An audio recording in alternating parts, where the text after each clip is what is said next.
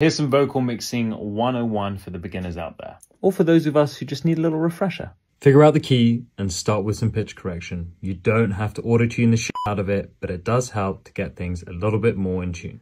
Use an EQ with some basic low and high shelf boosts and cuts to get rid of some of the low end and add some air. Then use a compressor to control the changes in volume and dynamics. Next, a de-esser is great for removing any sibilants and wanting to get rid of those S's.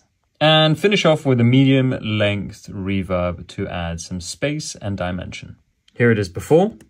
I'm giving you a night call to tell you how I feel. And after. I'm giving you a night call to tell you how I feel. If you want to see this process in depth, go to the link in my bio and check out the Boombox YouTube channel. And don't forget to follow me for more daily tips and tricks. Peace!